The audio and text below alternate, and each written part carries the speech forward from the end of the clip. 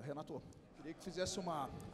Primeiro, uma avaliação né, do, do jogo. O Grêmio começou bem, teve aquele gol do dinamarquês aí que, do meu ponto de vista aí, aí dentro. Já não sei mais a regra, sou bem sincero, então depois eu quero que também me ajude nessa aí.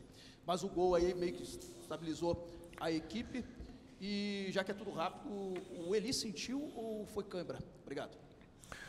Não, quanto ao Eli, eu não conversei com os médicos ainda. É, vamos esperar 24 horas. Saber se ele sentiu alguma coisa, foi cãibra. Quanto o jogo foi um, um grande jogo, a gente pode levar para esse lado, porque as duas equipes buscaram a vitória, buscaram o gol o tempo todo. As duas equipes criaram situações de gols. Agora, por outro lado, é o que eu falo há 10 anos, né? O VAR apita o jogo. Cada pessoa que vai no VAR tem uma regra. Estava com o meu presidente lá no vestiário agora, tentando ver se a bola tivesse pego no braço do Marte. Eu, vejo, eu vi o lance por vários ângulos, eu não vi a bola pegando no braço do Marte. Mesmo que tivesse pego, não é que ele tenha dominado a bola com o braço e feito o gol. Ele correu, ele chutou, o goleiro defendeu, a bola sobrou para ele. Quer dizer, foram alguns segundos depois que eu não vejo a bola no braço dele. Mas aí entra o VAR para variar. Outro dia, vendo o jogo, que eu não tenho nada a ver, só vou dar o um exemplo, do jogo do Vasco, o Verrete, só faltou ele dominar a bola com a mão e fazer o gol com a mão. Ele dominou com a mão, ajeitou com a mão, fez o gol, deram o gol. Aí eu pergunto, qual é a regra do futebol? Sabe qual é a regra do futebol? A bagunça. Essa aqui é a bagunça. Eu não vejo os árbitros, não vejo eles todos, não estou nem falando dos árbitros, quem vai para o VAR, fazer curso. O curso está na cabeça de cada um. Esse gol que foi anulado hoje aqui, realmente mostra o quanto o futebol brasileiro é bagunçado. E não é porque nós perdemos o jogo. Já elogiei o meu grupo, que o meu grupo fez um grande jogo, como o Atlético também fez. No pênalti, eu vi vários lances no pênalti do Hulk. O Jefferson chuta o chão, o Hulk valorizou, ele não foi no VAR. O VAR não chamou ele. Quer dizer, onde que a gente vai parar com o futebol brasileiro? Toda rodada alguém grita. Será que só eu estou errado? Ficar aqui gritando, dando soco em ponta de faca? As imagens estão aí. Se alguém discordar, tem todo o direito. As imagens estão aí. Esse é o futebol brasileiro nosso, para variar, uma bagunça. Renato, boa noite também, duas em uma. Primeiro, gostaria de entender aquele momento da troca a saída do Aravena para a entrada do Mike. Por um instante parecia para nós que iria sair o Reinaldo, ele ia bater a falta. Por que você tirou o Aravena e colocou o Mike como um ponta esquerda? E também queria falar sobre o Grenal. Depois dos piores momentos que o Grêmio passou no Campeonato Brasileiro, esse é o estágio que você esperava ver o seu time nesse momento de Grenal, essa melhora que o Grêmio teve?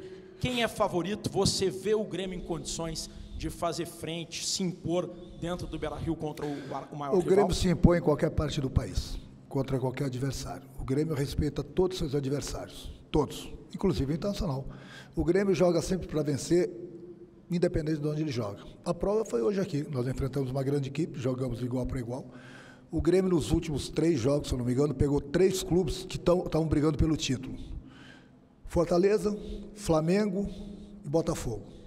Grêmio ganhou sete pontos. Hoje nós enfrentamos um, um grande adversário, jogamos igual para igual. Não merecíamos ter perdido. Foi um grande jogo. Então, o Grêmio ele chegou no estágio, nós voltamos para a nossa arena. Mesmo ela não estando lotada, mas nós voltamos para casa. E aí que eu sempre falei para vocês, mas isso é andar para frente, né? Que um clube, quando ele não joga em seu estádio um campeonato brasileiro, uma Libertadores e uma Copa do Brasil, a conta vai chegar. E o clube não é culpado. Infelizmente, a gente chegou. Se o Grêmio, pelo menos no meu comando, todos os anos que eu tive no comando do Grêmio, o Grêmio sempre brigou pelo G4. Sempre teve na Libertadores. Agora, esse ano, as pessoas têm que ver que foi um ano totalmente atípico. O Grêmio voltou para a arena, voltou a jogar um grande futebol, seja na arena, seja fora. Então, estou muito feliz. Inclusive, dei meus parabéns já para o meu grupo pela partida de hoje. Quanto à substituição, o Alex já estava cansado, correu bem. Faltavam acho que uns 10 minutos para terminar o jogo. eu tive que deixar o Reinaldo, que é um cara experiente, mesmo com cartão amarelo, tirei o Gemerson justamente para não ter o lado todo esquerdo com cartão amarelo. Coloquei o Mike para duas situações.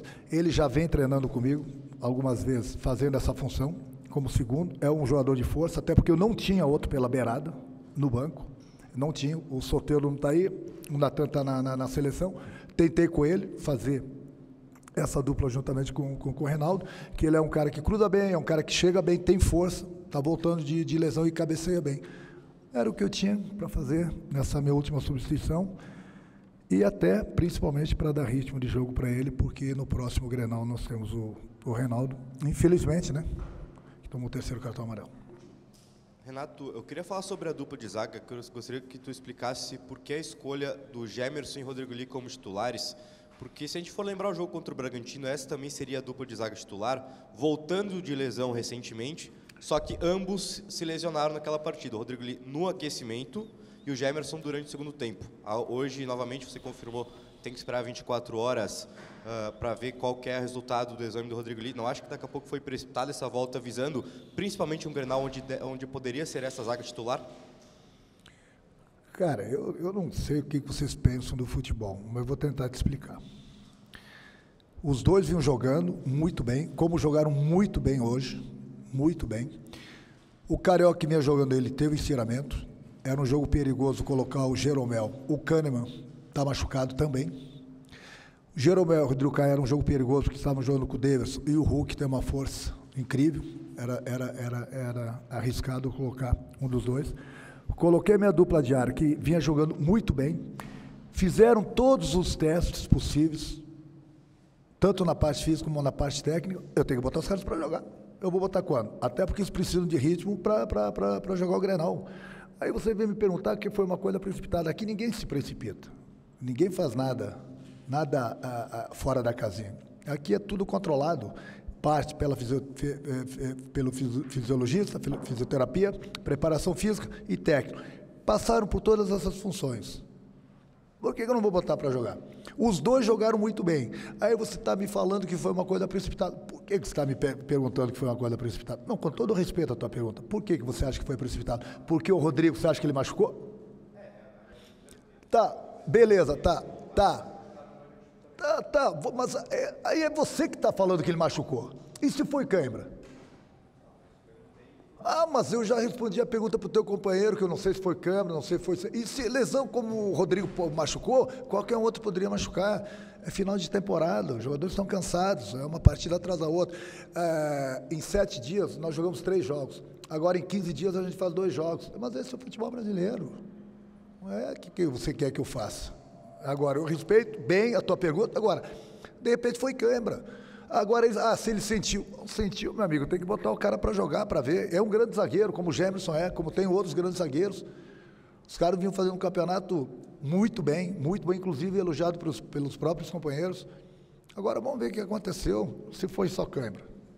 Acontece. Tem mais uma, alguém quer fazer?